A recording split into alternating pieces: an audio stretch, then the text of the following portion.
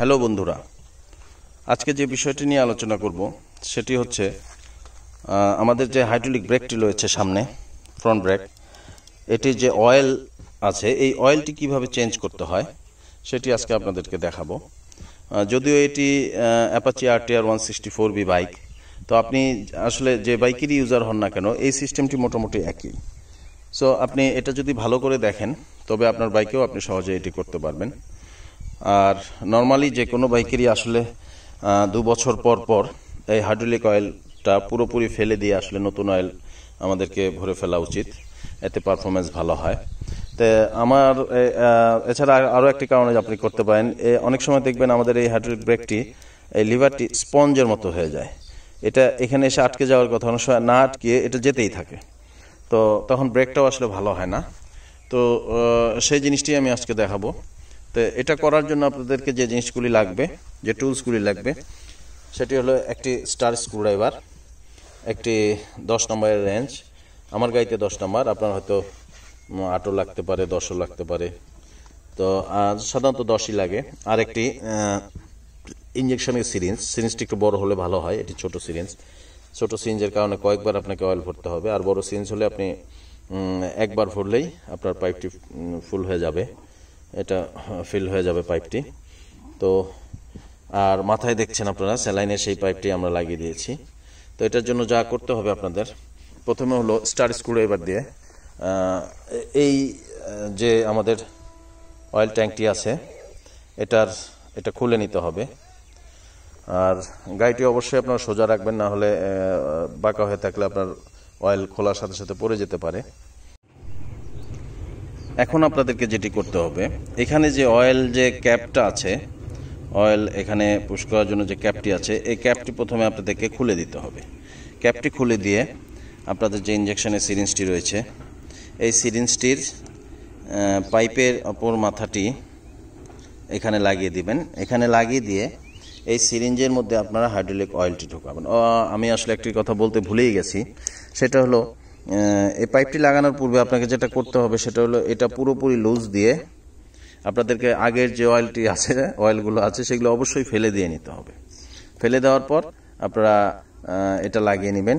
এটা লাগিয়ে নিয়ে এখানে অয়েল দিবেন, সিরিঞ্জে অয়েল দিয়ে। আগে বলেছি যদি সিরিঞ্জটি বড় হয় তবে ভালো হবে, একবারই হয়ে যাবে।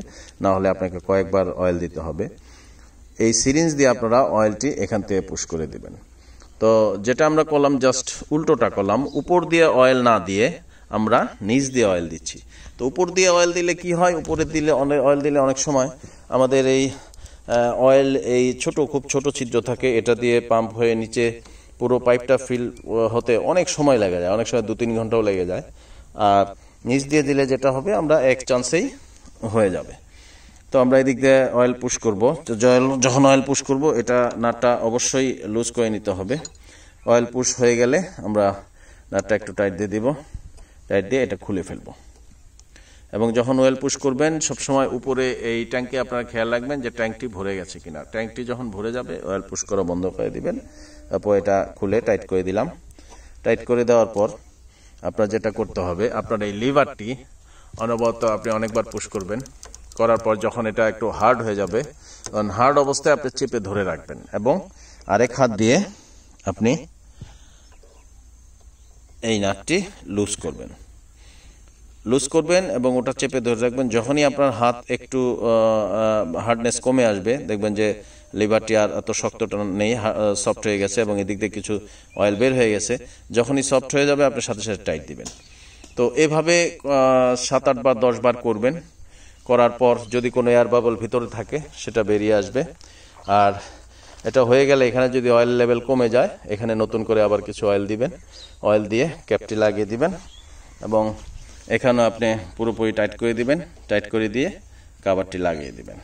এবার দেখবেন আপনার ব্রেকে কোনো স্পঞ্জি ভাব নেই এবং অয়েলটা পুরোপুরি নতুন অয়েল হয়ে গেল। তো ব্রেকটার পারফরমেন্স আশা করি আগের চেয়ে অনেক ভালো হবে।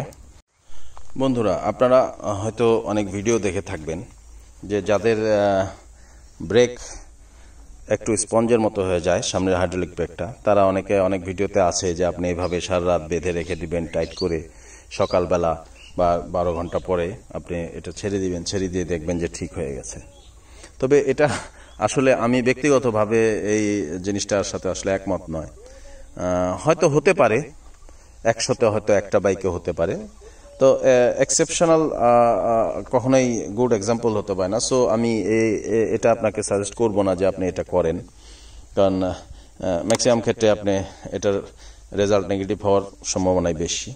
তো এই কারণে আমরা যেটা করব স্পঞ্জে হলে সেটা হলো অয়েল চেঞ্জ আমরা পুরো অয়েলটা ফেলে দিব। অয়েলে কোথাও না কোথাও বাবল আটকে আছে। পুরো অয়েলটাই আমরা ফেলে দিব এবং ফেলে দিয়ে আমরা পুরোপুরি নতুন অয়েলই ভরবো এখানে। বন্ধুরা দেখলেন ভিডিওটি, আশা করি আপনারা বুঝতে পেরেছেন। আর যদি কোনো কিছু জানার থাকে, তবে কমেন্ট করে আমাকে জানাতে পারেন, আমি যথাসাধ্য চেষ্টা করব আপনাদেরকে উত্তরটা দেওয়ার। আমার চ্যানেলটি অবশ্যই আপনারা সাবস্ক্রাইব করবেন। আবার দেখা হবে আপনাদের সাথে নতুন কোনো ভিডিও নিয়ে।